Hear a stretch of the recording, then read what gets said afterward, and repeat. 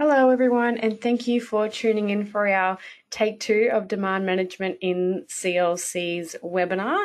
My name is Semi Cooper. I'm one of the sector sustainability coordinators at Community Legal Centres Queensland, and I again would just like to thank you for your patience and apologies for last week's trial one, which obviously um, didn't work. Now, before we begin, I would firstly like to acknowledge the traditional owners of the land that we are holding today's webinar in Meanjin or Brisbane. They are the Turrbal and the Yagara people. We wish to pay respect to their elders past, present, and emerging, and acknowledge that these are stolen lands and that sovereignty was never ceded. This webinar will be viewed by people across Queensland and Australia, and we also pay respect to the traditional owners throughout the country and extend a warm welcome to any First Nations people listening today. I will be presenting today on demand management and how we have tackled that project in the last 18 months in the Queensland CLC sector. Community Legal Centres Queensland, or CLCQ, was funded by the Department of Justice and Attorney General to lead the development of a demand management framework to support Queensland CLCs to implement and or improve existing intake and triage and demand management systems in an environment where we know demand for services almost always exceeds capacity and where government funding requires centres to target their services in Queensland, that's through the NLAP, to the most vulnerable and disadvantaged clients. This will cover um, lessons from and scope of the project, the importance of data and the role that played in the demand management project and how this was used to implement um, Power BIs in Queensland CLCs that comes, uh, comes directly from CLASS. It'll also give an overview of the tool suite created by CLCQ for centres to implement, including a demand management framework, conflict scripts, uh, template emails and scripts for frontline staff, problem identification, and Power BI resources. I certainly hope you enjoy this. And if you do have any questions or you would like to talk to the CLCQ team about anything that comes up throughout this webinar, please feel free um, to get in touch with us. So for now, I will just run through our slides and I'll go through um, hopefully as much information as we can cover. And if there's anything at the end, then feel free to email me. All of my contact details will be at the end. So through this, we'll go through um, the project, a little bit about what is demand management and how we got to that, problem identification, identification change management, data, and some of the tools. The problem identification will be really critical in this webinar, and hopefully, we can get a little bit into why that was so important. But critical thinking and creating space and time for accurate data was certainly one of the things that the feedback from our trial sites or our centres um, came through really strongly the importance of involvement from management and ground staff in change management for buy in and to ensure that this project was adopted as part of the culture or as part of um, business as usual. All of the tools that we'll be showing you today were actually tested by our trial sites, um, but there's certainly things in here um, that we're happy to share copies of. And um, if you do need any of those, they're on our website, but I'll certainly go through that right at the end. So the project was funded by the De Queensland um, Department of Justice and Attorney General. It was supported and run by CLCQ and Clarity Consortium, who are a consulting firm here, uh, based here in Brisbane, and through an action learning process where we had four trial sites and we also had five buddy sites and they all participated um, with one management person and one person from an administration or an operational role to ensure that we had insights from the top and we also had insights coming through from the ground. That was really important to us, and I think that was probably one of the primary reasons for the success of this project. Um, it was really critical that we had the insights and perspectives from on the ground and I think we all know that just adding an extra team of volunteers is really not going to solve this demand management problem.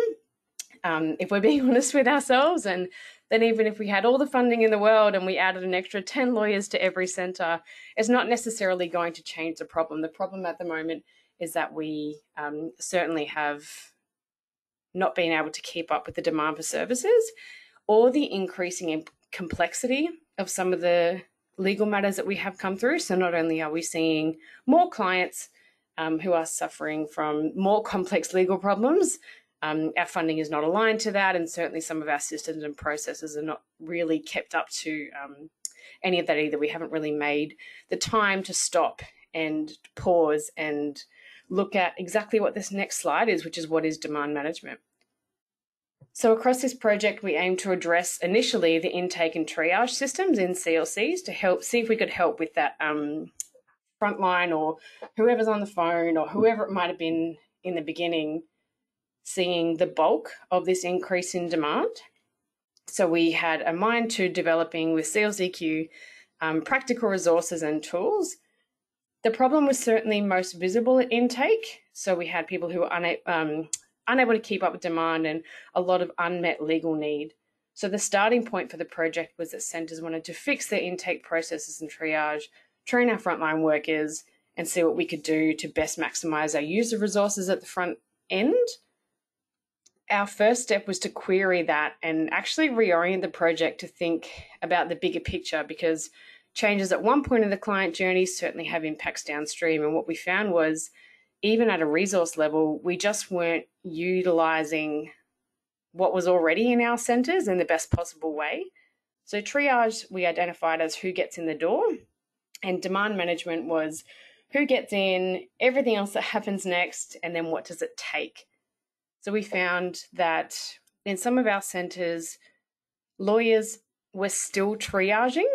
So, we had kind of everybody who needed a service um, was tried to be accommodated in our CLCs, which um, on one hand was obviously really helpful, but on the other hand was really unhelpful because we found that by the time the client got through all of the different intake processes or the triage processes, they might get to the lawyer at the other end and find that actually this is not a legal problem we can help with, or actually this is not a legal problem at all. You you know we need to link you in with a lot of wraparound services, but the legal problem is not the core problem, and that this might not be something that a CLC could help with. So I guess we could think of it as um, triage is kind of an accident emergency department, and demand management was looking at where our resources are best fit or best placed to fit.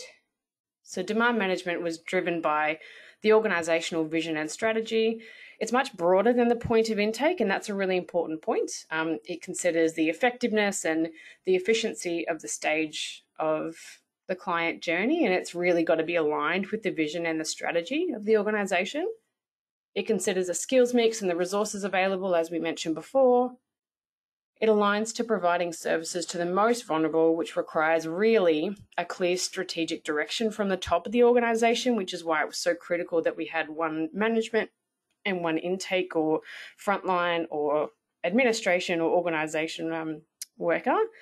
And in addition to the process and system redesign, so it needed to involve at some level kind of service workforce redesign and thinking at a really high level about where this project fits into each level of the organization and how we might best be placed to empower all of our workers across the organizations.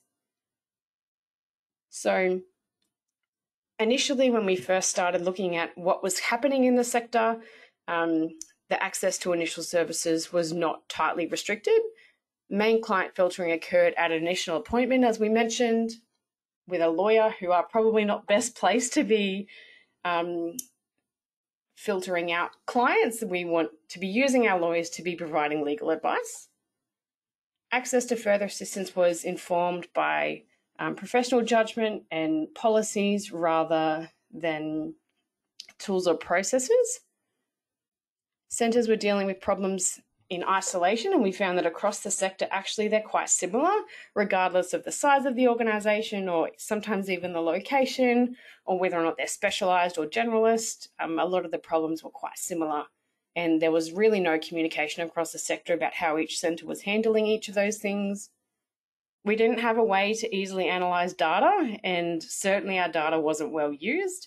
Um, anybody who has used Class before knows that it's come a long way, but potentially without some assistance, um, those Class reports are quite clunky and quite difficult to interpret or use in an um, easily digestible way.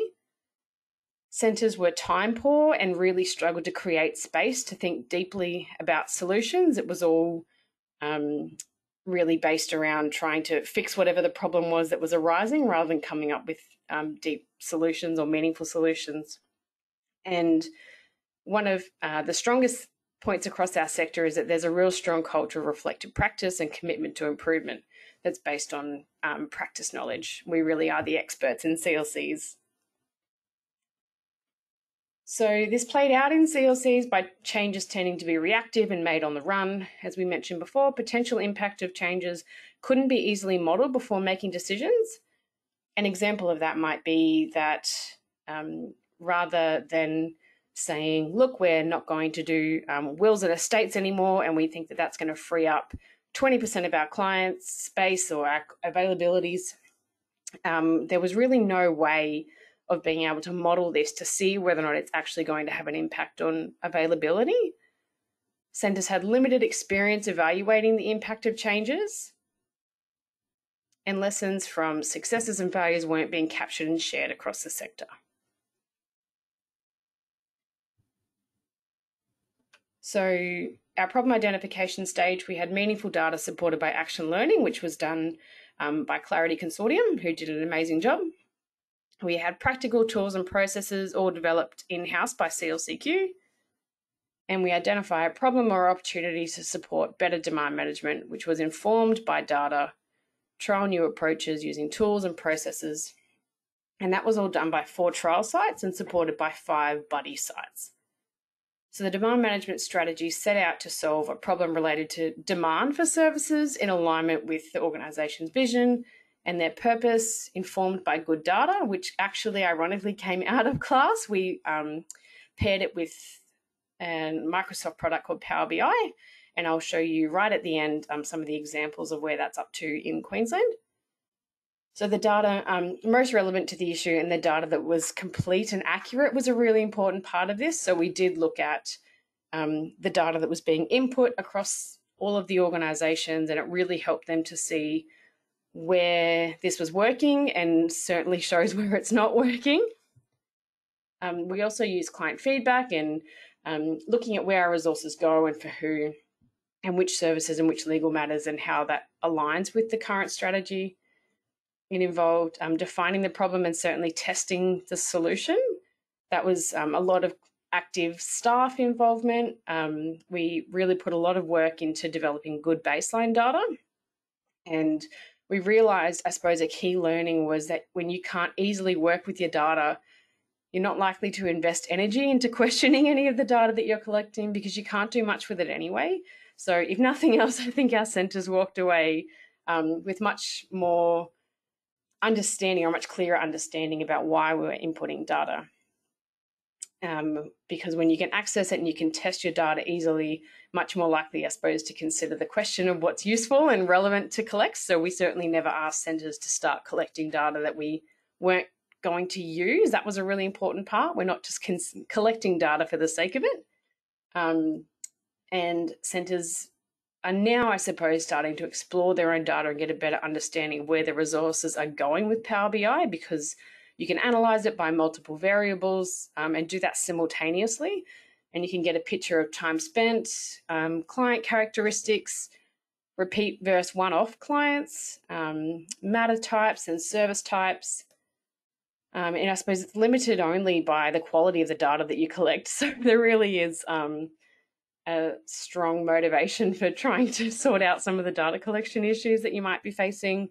Um, and some some centres, sorry, started collecting data in addition to what we had as a baseline. So they started collecting um, time spent, uh, reasons for referral rather than bulk referrals, um, reasons for repeat appointments, and data that told us a little bit about the ch- the client churn or the system churn, even the sector churn.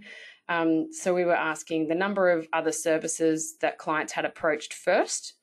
Um, and did you get advice from another centre about this matter? So we were really able to see how clients were being passed around a bit of a, a roundabout, I suppose. And it's really easy to see why clients might feel a bit overwhelmed or a little bit lost when you realize that actually they're talking to kind of four or five centers at each time and kind of getting different answers or um, different availabilities, and it can be quite an overwhelming process.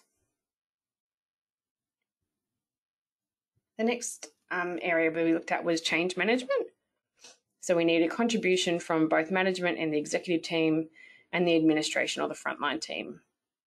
So a key component of this project was ensuring that we had the right people in the room and that we were able to have really effective conversations about all levels of demand management, um, as well as just intake and triage. So all centres had the CEO or um, the principal solicitor or the principal lawyer and an admin officer or the office manager in the room. And we also had a great opportunity um, to test some of the solutions with Power BI before it was implemented. So they invested time in identifying what would be most useful for centres to know um, or make more informed service changes, and then identified how much data could be easily accessed with minimal kind of impost on some of those services. Um, so we were able, for example, with Power BI to go back to the wills um, and estates scenario. We were able to select all of the services provided throughout the year, minus the wills and estates matters and realize that actually it's only taking up about 1%. So it wouldn't be useful um, to cut that. It's not going to have an impact on the demand for services that we thought that it might. So the existing data um, were client characteristics compared with local demographics, um, service and problem types, proportion of new versus repeat clients, client experience of the service, client satisfaction. With Power BI, we were also able to see um, seasonal demand trends, which is really helpful when you're doing things like workforce planning. For example, family law matters are quite likely to go up um, through school holiday periods. We had new versus repeat clients by client characteristics, problem type, um, service type, and number of actions. And this will all make a little bit more sense as we start to go through some of the Power BI stuff, which is coming up. And service intensity. So we defined service intensity um, by the time spent by number of actions, by number of problem types, by client characteristics. So one of the key arguments I think for us going through um, government funding advocacy at the moment is really trying to clearly articulate that it's not just an increase in the number of clients that we're seeing come through the door. It's also the number of legal matters they have.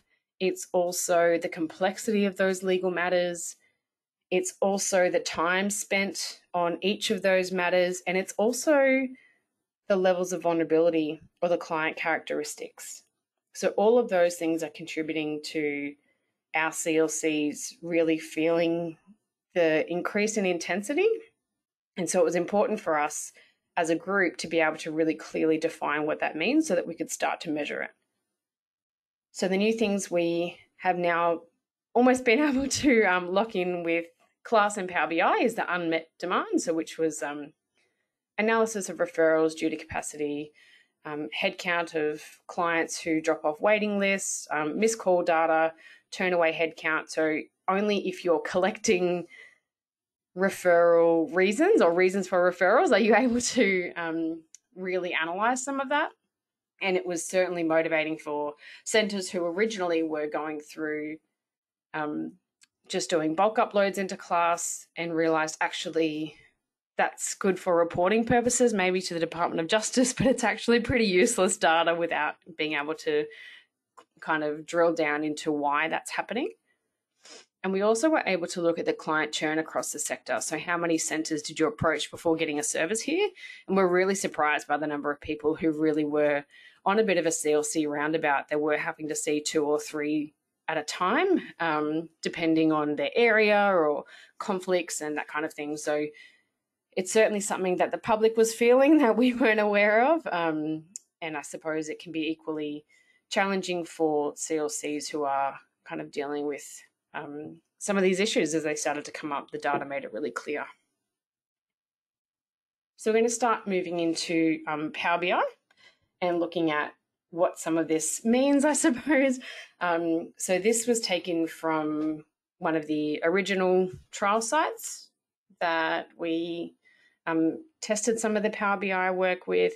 So as you can see on the left-hand side here, they are all the things that you're able to see um, across the different pages. You can separate all of those things out. Um, priority groups and service types, one-off first repeat clients, time spent. We then have um, time spent by client vulnerability, problem types, problem types by time spent, and it kind of goes through in that kind of vein. And as you can see on the right-hand side are filters.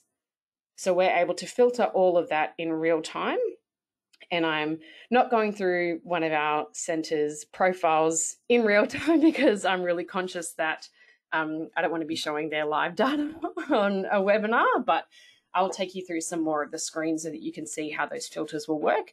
Um, so you can filter by a Centrelink status, by um, how many centres they approach before reaching us, by Aboriginal and Torres Strait Islander status, by disability, um, by age, kind of everything that you put into class about a client is a filter that you can use once it's all set up.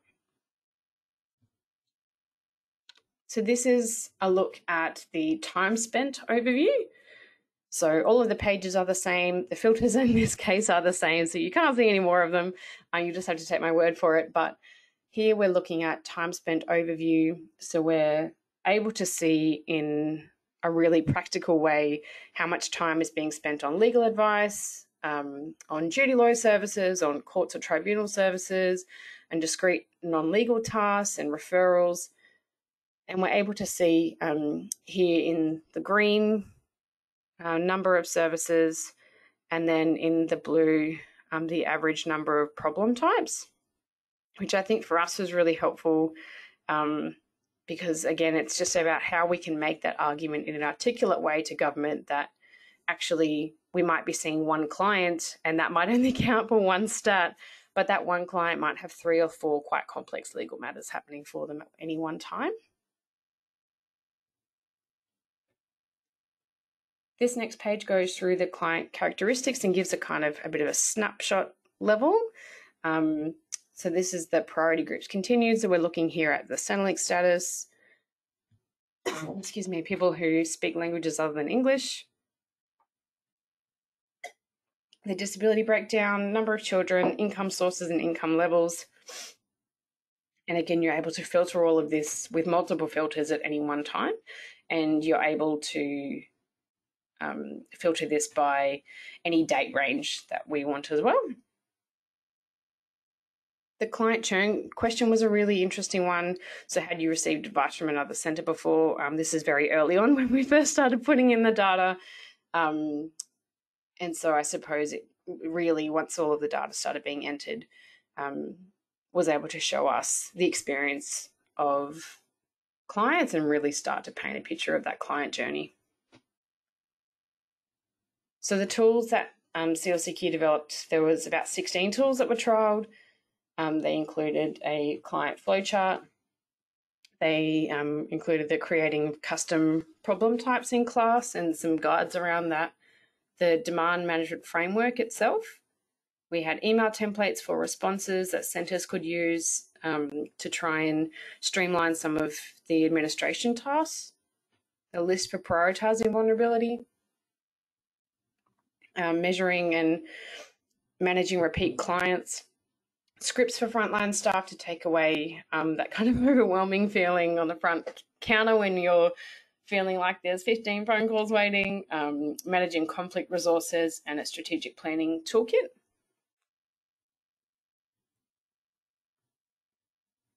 So this is an example of the email templates, and we did liaise a lot with some of our um, key stakeholders in Queensland, like Legal Aid Queensland, who were really amazing at helping to provide some of this information. Their website's really comprehensive as well. So um, we were really grateful for all of the assistance that we got from the legal assistance sector more broadly, and quite lucky that we work really cohesively in Queensland.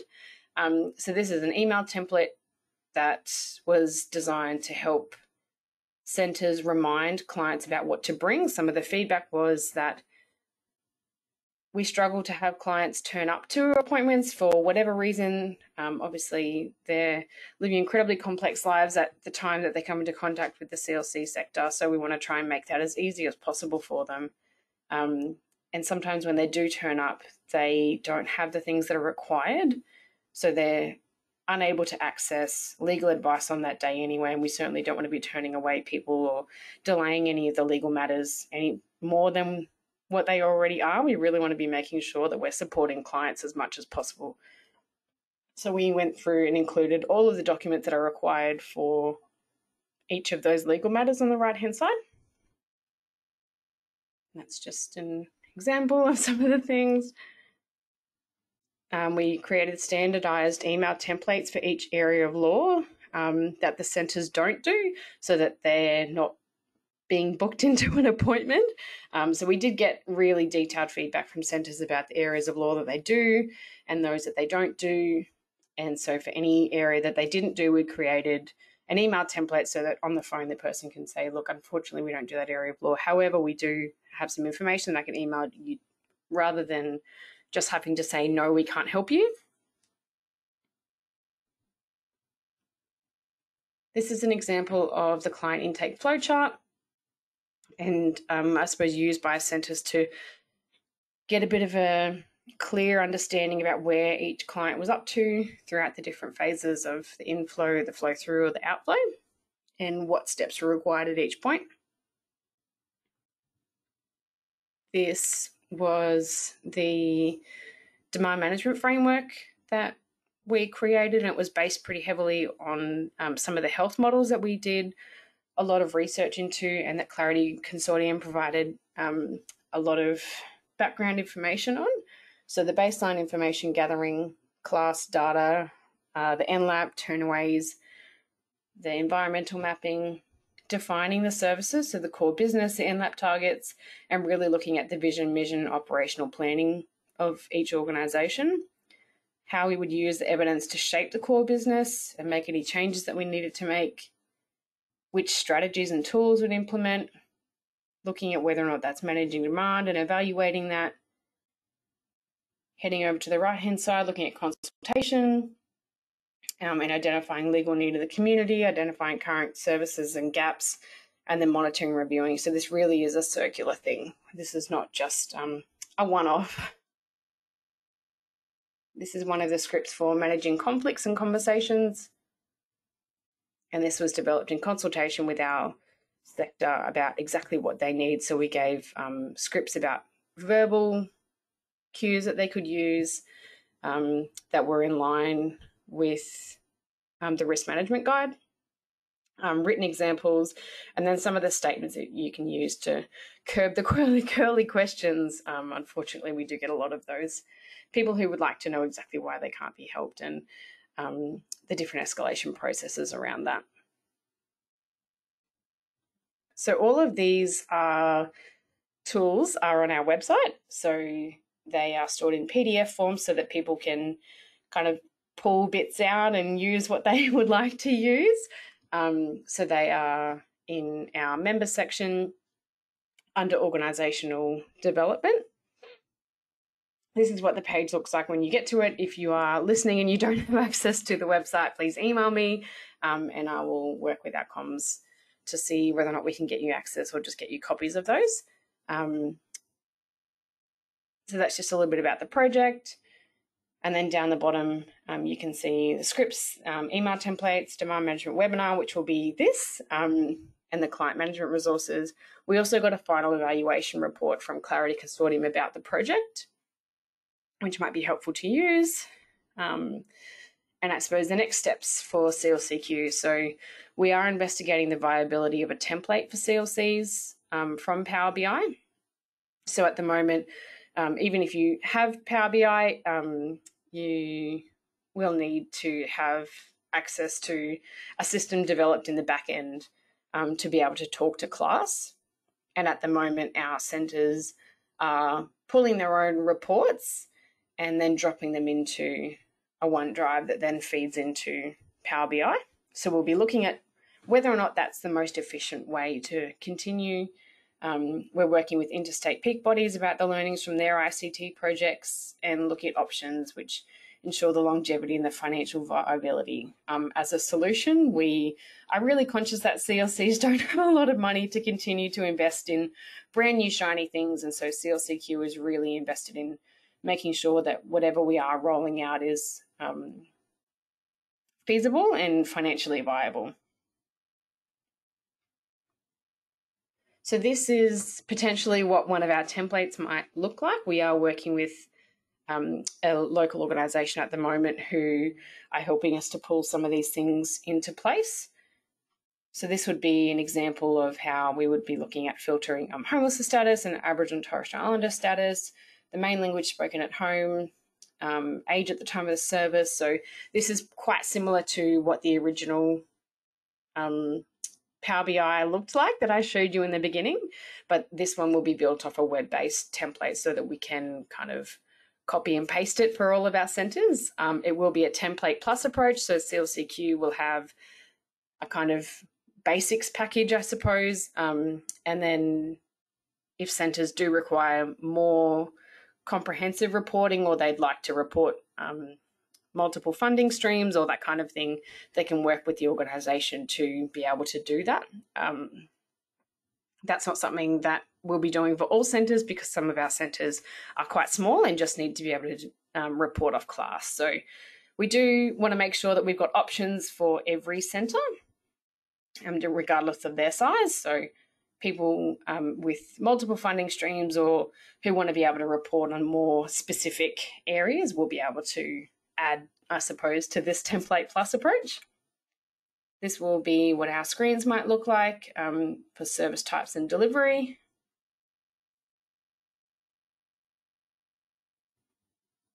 This will be what the overview of services look like. So you can see that line through the middle is the number of services um, for each month in the year.